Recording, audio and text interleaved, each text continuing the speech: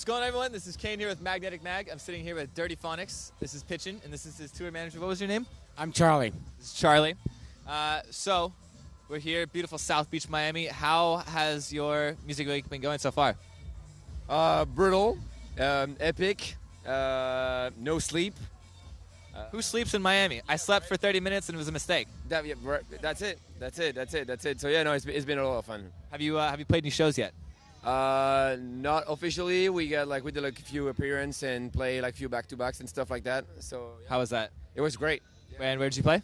Uh, there was the Marshmello and Friends with who was Was Marshmello there? Jultron? No, he was no, he was going. It was Jultron. Okay. Sick dope. I don't want Sikdope uh, set. Was Sikdope's set sick and dope? Sick and dope. Yeah. Sick. so, uh, you just told us that you recently moved to LA uh, not that long ago. How has living in LA been for you? Uh, definitely different from Paris. You cannot beat the weather. Like, Now, yeah, right. So, and yeah, it's been just great. Like everybody's there. We have a lot of friends and and, and a lot of people we work with. It's just like the place to fucking be if you want to do like any collabs or have motivated people or stuff. But they give me that. What? Okay. trading glasses here. Yeah, I don't know what's going on. That's all right. Those are pretty cool glasses. Yeah, they're okay. I mean, They're just okay. yeah. So, Yeah. how do you think the weather in LA compares to Miami? It's definitely uh, way much more humid here, but I'm not gonna complain. It's fucking, it's beautiful out. So yeah, no, it's uh, I'm, I'm I'm down for that. So, how is the Los Angeles music scene compared to the France or Paris music scene, I should say? Sorry, what was the question? How is the Los Angeles music scene uh, compared to Paris? It's huge, man. I mean, everyone from you know the whole world's moving to Los Angeles right now. Uh, so you know all the homies from Europe, from Australia, even like you know Asia, like everyone's kind of like gathering in LA, and it's awesome to have this melting pot of people that you can just like call and collaborate with, and you know do stuff right there and then. So I mean, that, you know, we kind of like we're part of this move at the same time. So it's yeah, it's really cool to be all together there. And how long have you been uh, tour managing them? How long have I been tour, touring managing uh, Dirtyphonics for? Uh, wow, pretty much from the beginning. I'd say like what, ten years now. Wow. So, what would you say as a tour manager? Since most people don't really get to uh, get a little bit of inside scoop on tour managing, what is the biggest challenge of being a tour manager? Uh, making sure the boys, uh, making sure that the boys wake up in the morning. Uh, everyone takes their breakfast. They don't forget their keys. Uh, make sure. Do you forget your keys often? Do you eat your breakfast? Do you brush your teeth? What are, we, what, what is there, what are your bad habits? What are his bad habits? He's grumpy all the fucking time. You No, no, I, I, I forgot my USB drive in the in the CDJs all the time. Uh, can't do that. Can't do that. So, uh, all right. No, he's, he's good. He's good. He's usually good. He needs a little kickstart in the morning, but yeah. Are you a uh, are you a French press kind of guy in the morning? Uh, yeah, I can. Yeah, coffee, coffee, coffee. As long as it's black and liquid.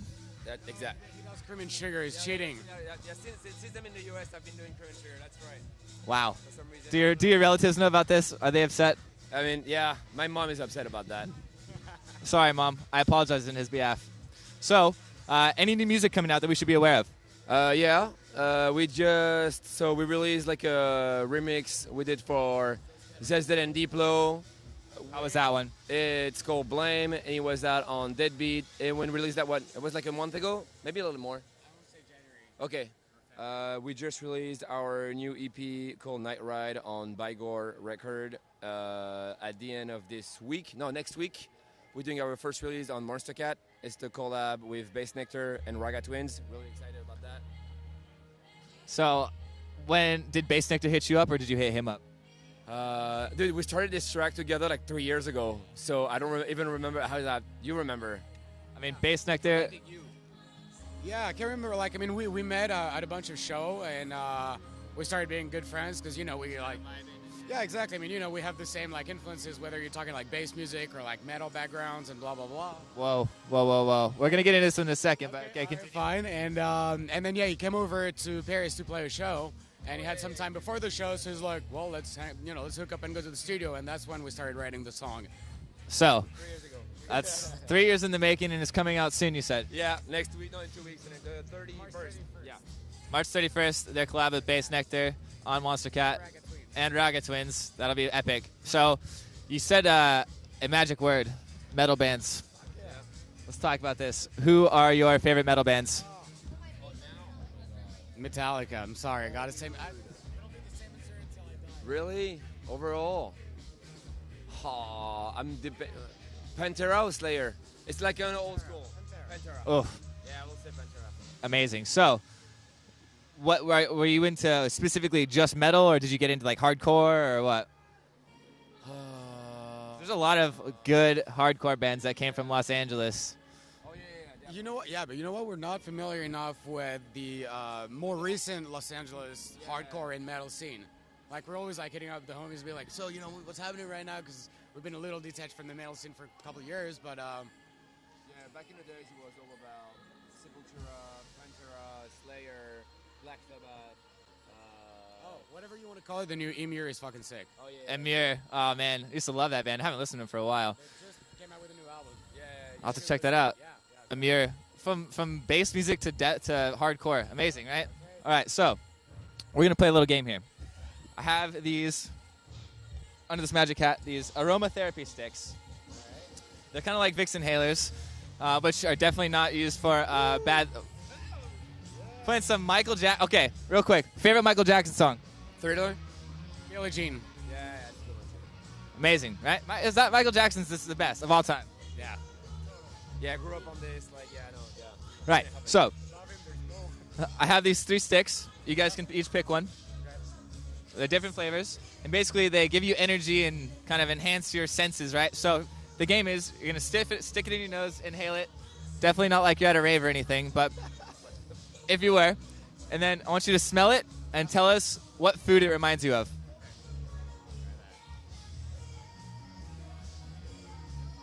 Give it a good whiff. Give it a strong whiff. Um, that reminds me of the strawberry Hollywood chewing gum we had when we were kids. Does that count as food? Strawberry, yeah, I, I guess gum counts as food. I mean, I wouldn't swallow it, but it's bad for your it's bad for your intestines if you swallow gum. All right, well, how about you? Oh my god. what the fuck?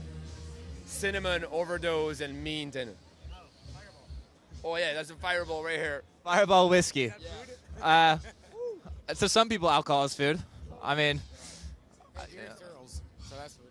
beer has uh, has calories and carbs. It's good for you. It's good for your teeth, actually. Real fact. All right, so once again, sitting here with Dirtyphonics at Miami Music Week, and you're playing Ultra? No, we don't play. Ultra. No, here. just kidding. They're not playing Ultra. When? Uh, what shows are you playing this weekend? Uh, by Trippinger Burger tonight. FSOB and Monstercat.